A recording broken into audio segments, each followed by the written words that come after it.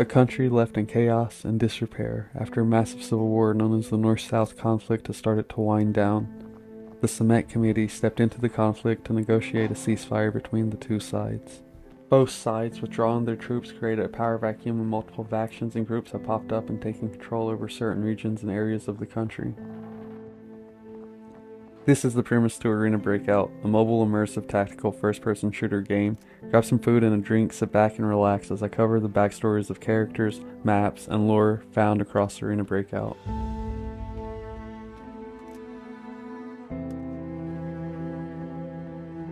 This war torn fictional country is known as Kimona. Set in a fictional world, Kimona is a shell of what it used to be, once thriving with urban cities that now seem to be left unpopulated by anyone who isn't taking advantage of the crisis. Let's go over some of the cities and towns seen around the country of Kimona. Let's start with the map of Farm. A quiet farming town located just to the southwest of Armory, it's a supply depot for Renoir, more specifically the motel and stables. He sent one of his top commanders, Ajax, to take control over the area. Moving to Armory. Armory is a heavily fortified military base to the northeast of Farm.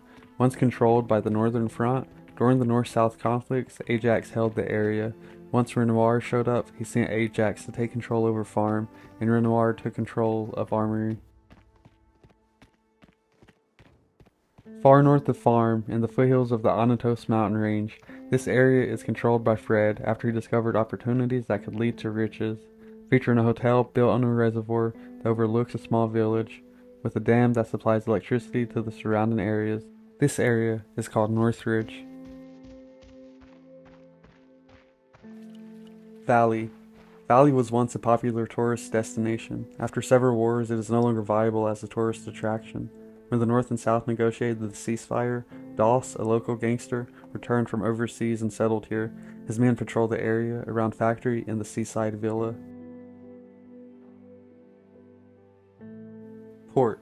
Located in the Guayapos Bay region east of Armory, an important import and export channel for northern Kimona, during the time it was under control by the Northern Front, the Tavelans dispatched military to support the building of a naval port and shipyard for repairs of the ships. Kimona TV station is located in the Guayapos region north of Port. During the North-South conflict, it was used by the Northern Front as a frontline command center.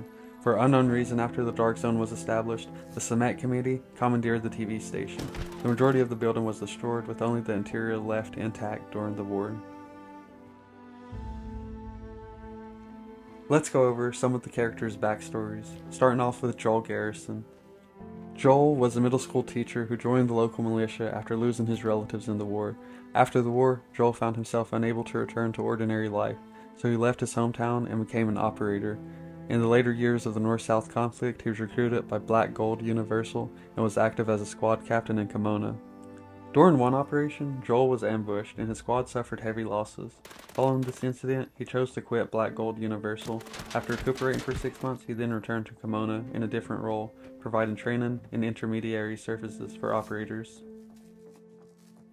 Avita was born in one of the southern nations of the Ocean Alliance. Her family background is unknown.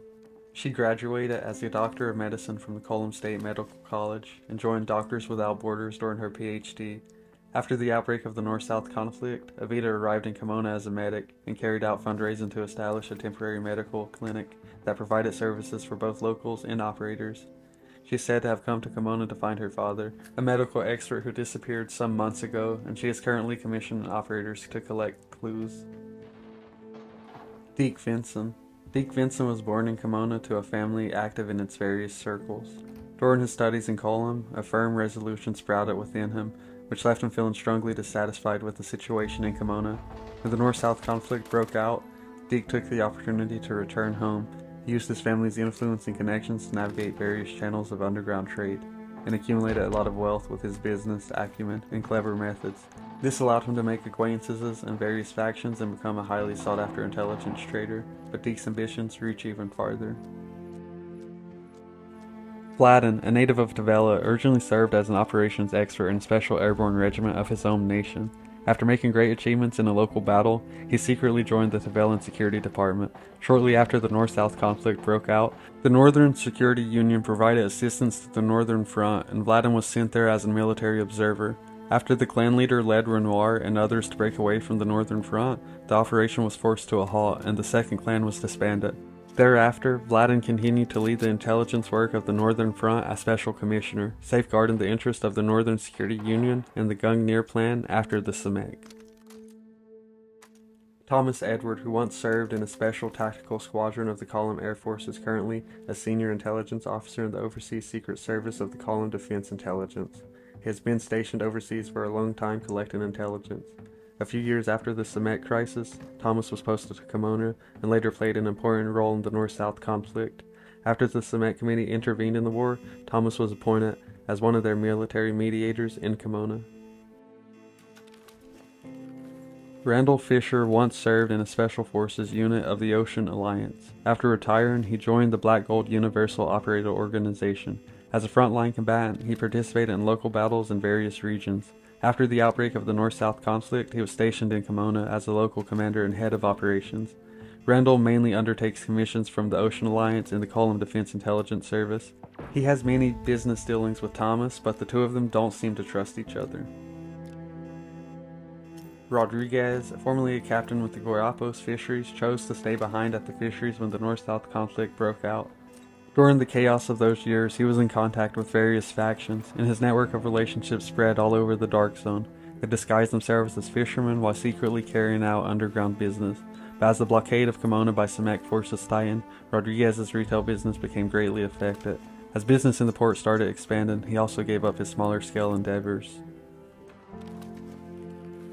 Coming out of the contacts and moving to the bosses, the first boss we have is Anthony Renoir, during the North-South conflict, he was the commander of the 4th Infantry Brigade and was Ajax's superior. He left with Ajax when the commander of the 2nd Clan declared independence, along with many others of the Northern Front. His boss token being the Battleforge badge, which he earned from his time being in the military, but it no longer symbolizes glory to him. Ajax Jones, one of Renoir's officers during the North-South conflicts. Ajax once watched over Armory after the second clan disbanded, Renoir returned to Armory. For Ajax, approval from those in power is far more important than even good equipment. He was given a pocket knife and made a commander in Renoir's forces. Now being given the recognition and power he craved, he declared his allegiance. He was then sent to farm by Renoir to take control. His boss token is the knife given to him by Renoir. Anthony Doss, a local gangster who lives in luxury at the seaside villa. During the North South conflict, Doss was overseas. When the North and South negotiated a ceasefire, Doss, with the help of his partners, returned to Valley to resume the family business of dealing weapons and his boss token being a handmade gold coin that appears ancient with engravings covered in signs of wear. He holds it every day, feeling the power and authority he's taken. Derwin Pan, Northern Front Navy captain and first mate of the ship Polaris. When the second clan disbanded, the Polaris's captain Carl decided to sink the ship, which was under repairs at the shipyard in port, and return to the north. Derwin defied the orders and subsequently took over the ship and port. He is a force to be reckoned with in the eastern seas of the Dark Zone. He's worked with contact Rodriguez to establish a thriving black market trade, during which time he became good friends with Doss. Derwin's boss token is a streamer cut from a military cap. Fred Lee, a former agent who decided to work alone after discovering the rich opportunities in Northridge, a skilled veteran possibly from Kimona's military, However, he currently appears to be allied with the White Wolf Squad, a faction related to the Tavella Petroleum Company. Let's go over some of the lore hidden in the gameplay mechanics. The elite guards that spawn on farm wear the same armor types as those seen on Armory, which makes sense seeing as Ajax works for Renoir and would be supplied armor from the Armory. The majority of Rodriguez's missions are on Valley, him being the middleman between Doss and Derwin. This could be the dealings he does for Doss, making us accomplices with Doss in a way. You can see the damage the war has caused in many of the maps, such as the collapsed bridge on farm, and the damaged buildings on port, as well as bunkers and artillery guns on Valley. Here's a couple of secrets and easter eggs you may or may not have known about Arena Breakout. 1. Norteño Court, added in Season 4 to Valley, is the Contact Rodriguez's family home. 2. There are pigeons you can shoot in game, but it's a rare sight to see because they are realizing that this barren area in the center of the peninsula is impassable to them. Bots on port can sit down claymores, meaning they are in the game files, and the boss Kurt on TV station can throw C4, which can be heard by the distinct ticking noise it makes. The ship Polaris, which Derwin was first mate on, can be seen in the map port. The impact of lore on gameplay. Much like Tarkov, when you die in Arena Breakout, you lose everything you bring in, which causes a lot of survival versus humanity situations, making it hard to make friends in-game. Players may be forced into choosing between survival or humanity, highlighting the moral dilemma of self-preservation and altruism. Conclusion From an aid worker looking for clues about her father's whereabouts, to a former Navy captain working with a local war criminal, Arena Breakout has some very interesting and crazy lore to say the least. You just have to know where to find it. Speaking of which, this is where the community can help out and get involved. While you're out in your raids, getting secret documents and thermals off of other operators, keep your eye out for the hidden lore and lore placed in plain sight to help grow what we know about the lore of Arena Breakout.